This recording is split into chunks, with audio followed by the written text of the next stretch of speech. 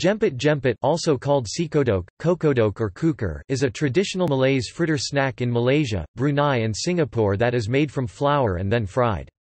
It is usually round in shape and tends to vary in size. There are many varieties of this snack, some using banana, anchovies or prawns, onion or maize.